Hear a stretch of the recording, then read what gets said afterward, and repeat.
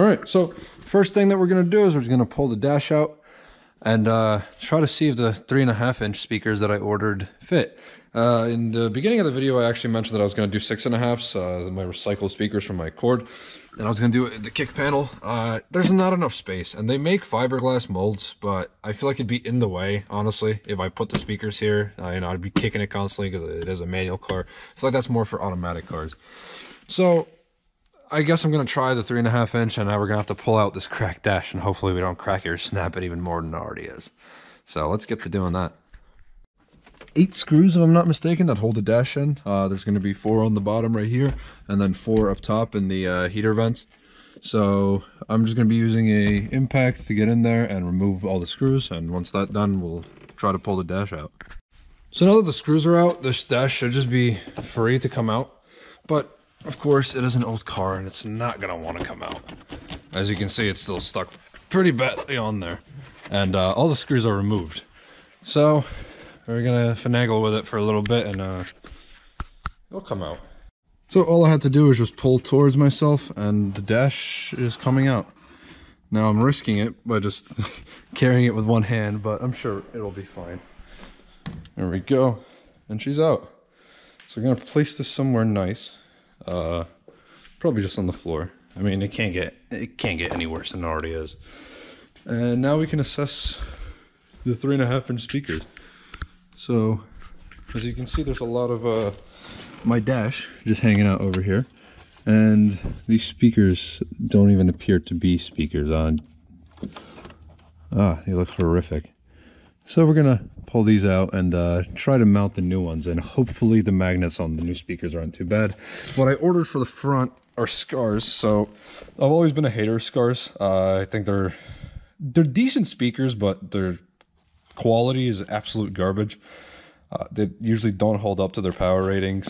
Um, so these claim, what do they claim? 80, 60 watts RMS. Uh, that's, I mean, we're never going to come even close to that with our $20 head unit. So I think we should be fine with these, but we'll see. Uh, I just wanted to test out what all the hype is about and see if these speakers are any good. But obviously, they're going to be really underpowered until I get a five channel amplifier for this car and we run a sub and then we can, you know, actually enjoy the true sound.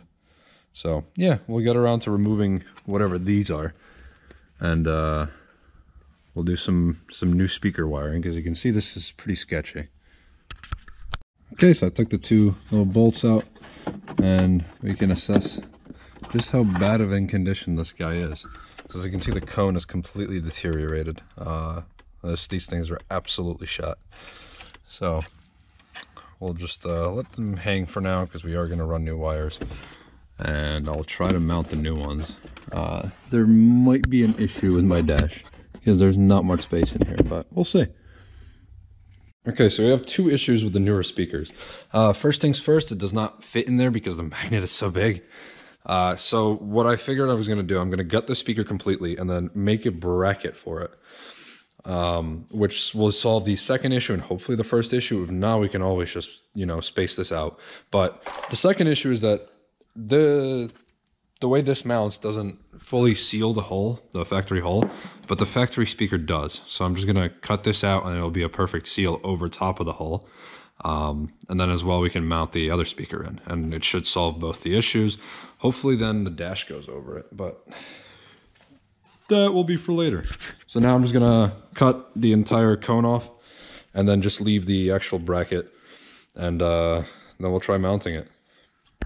Okay, so my theory worked. As you can see, it's nice and tight in there now and it's uh, it's all bolted down. Obviously, I'm gonna have to take it back out, but yeah, I just shaved the the dome off of the uh, the old three and a half inch speaker, and then uh, slipped this guy in here, and now it clearances both this guy, which is what it's hitting on, and now it's a perfect seal around the um, the actual dash itself so the sound quality should be better so I'm just gonna pull this out I'm gonna do the same exact thing to that other side and then we can start running wires from here out through here so I unbolted the amp uh, I'm just gonna have to disconnect these two wires and I'll just remove it completely because there's no use for it now, as for this absolute mess of wires over here, as you can see, nothing was even soldered. They were just twisted together, so whoever touched this previously is an absolute idiot. Um, so I'm gonna have to disassemble this entire mess of wires and then uh, we can start running new wires. So one short trip to AutoZone later, we have a fuse tap uh, because we need accessory power for the head unit. And since I removed that entire nest of wires, as you can see, it's uh, looking pretty clean in there. Uh, there's nothing left from previous uh, wiring. So we have to run everything brand new. Uh, we already have a ground, which I'm gonna run from these mounting screws right here. I checked that it is a solid ground. It is, and it will be fine for that tiny head unit. I'm just gonna run a 14 gauge wire for that guy. And for constant 12, which the head unit requires, we're just going to run that from the battery. And more specifically, not from the battery, but from this little guy right here, the uh, distribution block. So we're going to run that through the firewall, and then we have our three main wires that we're going to need. Everything else is just going to be speaker wires. So we're going to do that now. Uh, now we can run our accessory wire from this this fuse panel right here and next we can run the ground, and finally we can run the 12 volts. So I'm going to start doing that right now. Okay, so this is going to be extremely simple if I can find proper fuses, which we do have a pack of fuses right here. So with our fuse tap, you're going to want to replace, uh, or the fuse tap look like this, right? So this goes into uh, where you pull that fuse out of, and then this fuse right here, the 20 amp, which I pulled out of the fuse box itself, goes into the first slot.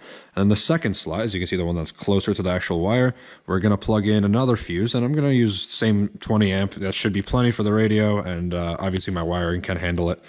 So now that we have that, we just plug it back into the same exact location, crimp a wire onto the end, and that's going to be our accessory wire.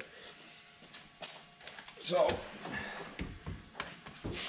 just plug that in there nicely so it doesn't interfere with anything. Just like that, that is a very perfect fit. Okay. And now we can grab a yellow wire because usually you run yellow for accessory. And since it is accessory, uh, we don't need anything crazy. So you can just run a nice little 16 gauge, which I have a whole spool of right here. So we're going to take our 16, which is nicely taped down. We haven't used this wire yet. Uh, I'm going to just... I'm going to just strip the end of this wire just enough for it to crimp onto there. There we go. Twist it. And then we will crimp it to that little blue crimp connector that I showed you earlier.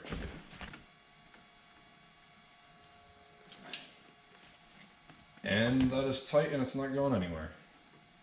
So now we'll just run the approximate amount of wire that we'll need. I'm just going to give myself a little extra feet. There we go, that should be enough. Just going to cut the end of it.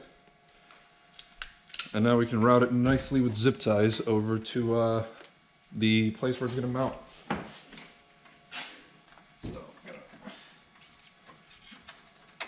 So the thing is, I've done the same exact thing with Alex's car. Uh, because when he bought the GT350, the way he convinced me to get into that car is because at first I didn't like Fox bodies. I thought they were ugly cars. Um, didn't really like them, was not a fan of them. But he convinced me into working on that car by purely saying, hey, redo the entire audio system from scratch. And that's that's what got me into that. And that's kind of what got me into the Fox bodies. Because then the more I started working on them, the more I realized how simple they are and how easy they are to work on. And also just how inexpensive they are. Unless you have a rust bucket SVO, which parts are hard to find. And uh, then it gets pretty pricey, but other than that, these are pretty cheap cars to work on, and that's how I fell in love with them. All started from music. Okay, so we are in luck because as you can see, I placed my uh, flashlight in the engine bay, and you can see a nice little hole over there.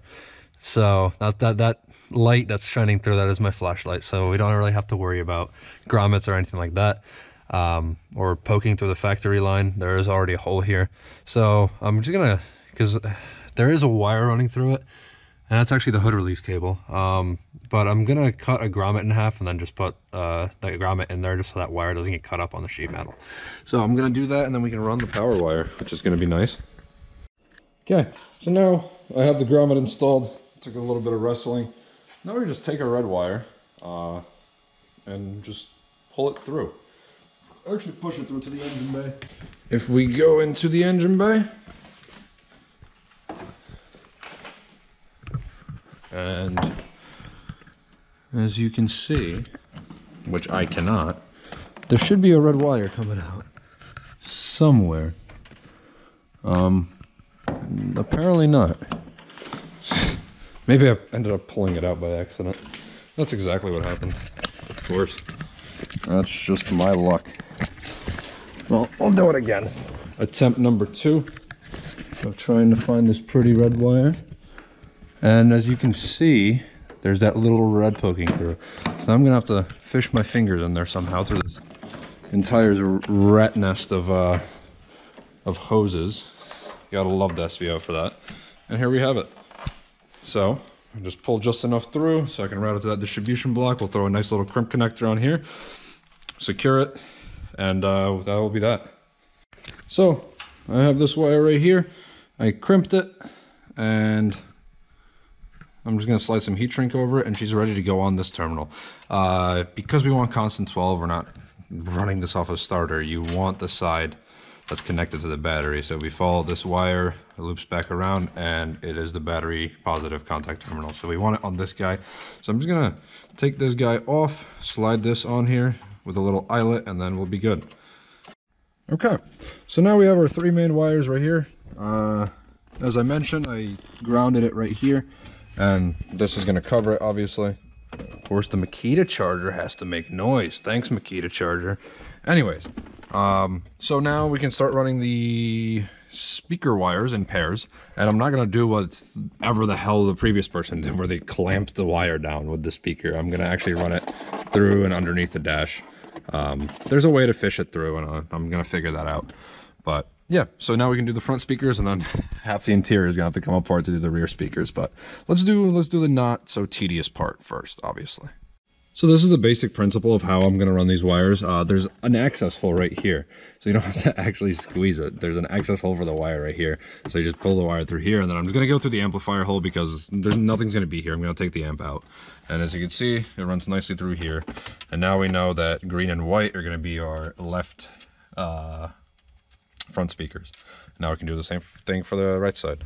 So now that the front has uh, the wires ready for itself, now we can start pulling the back apart and hopefully I might have a little trick up a, I might have a little trick up my sleeve for how we can not disassemble the entire interior.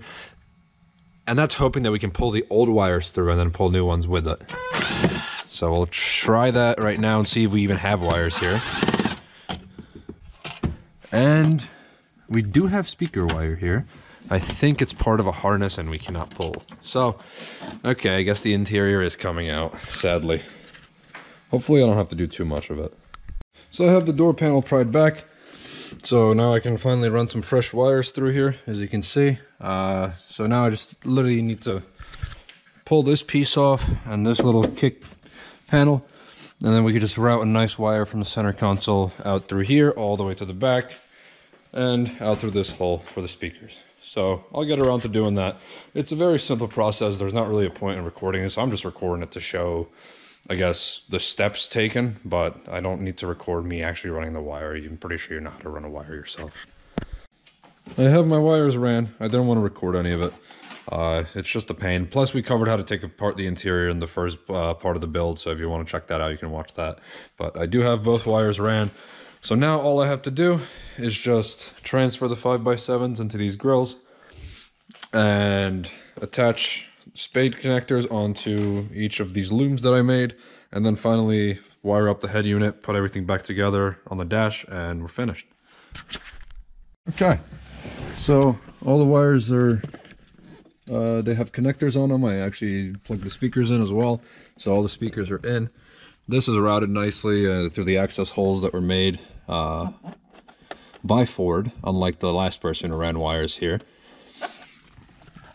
So now I have this guy soldered up, at least part of the uh, harness that's responsible for turning on the head unit. So now I can just take the head unit itself and uh, plug it in.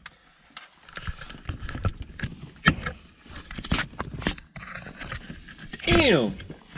You flexing on him. Do you have a flashlight? I'll shine here. I'll hold it. So if I just plug this guy in. Oh, it's right there.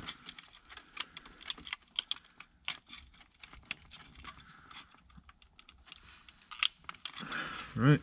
So he's plugged in and now I just need to give it some accessory voltage.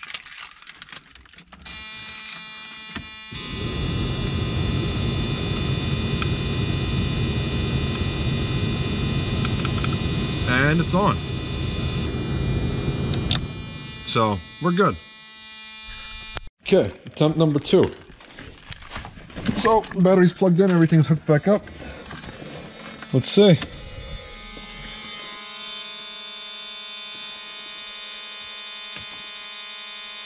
And she's on. Does she play anything? Yep.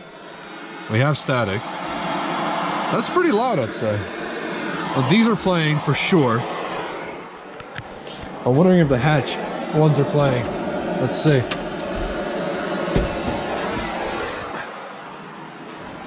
Oh yeah, you can hear them going. Okay, nice.